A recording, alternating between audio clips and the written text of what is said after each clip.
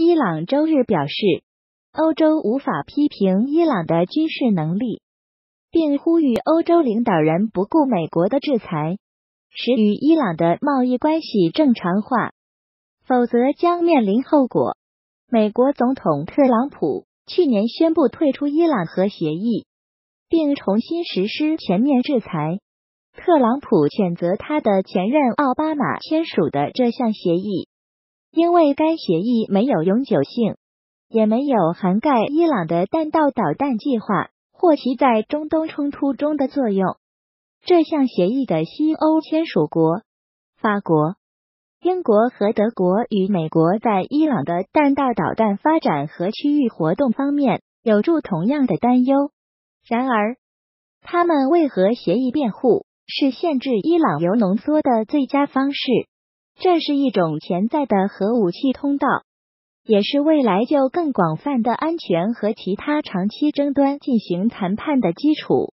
伊朗外交部长扎里夫表示，欧洲人无法批评伊朗在核协议之外的问题。欧洲人和核协议的其他签署者应该使与伊朗的经济关系正常化。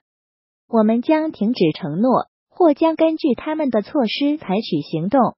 上个月，伊朗削减了二零一五年协议下的一些承诺，并警告说，如果欧洲未能保护伊朗免受美国制裁，伊朗将在六十天内恢复浓缩铀，其程度将高于协议允许的程度。美国制裁旨在削弱伊朗依赖石油的经济。德国外交部长马阿斯将于本周访问伊朗。探讨保留这一日渐磨损的核不扩散条约的各种选择。伊朗议会议长拉里贾尼星期天批评法国总统马克龙上周在与特朗普的会议上说，他们在伊朗问题上有着相同的目标。马克龙表示，法国希望确保伊朗不会获得核武器。伊朗对此回应道。法国总统最近在与特朗普的一次会议上的讲话是可耻和无能的。马克龙的评论与他在会议和电话上对我们总统所说的不符。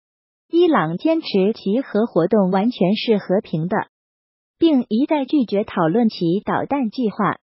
德黑兰周日公布了一个新的国产防空系统，能够同时追踪六个目标，包括战斗机。轰炸机和无人机，并用导弹摧毁它们。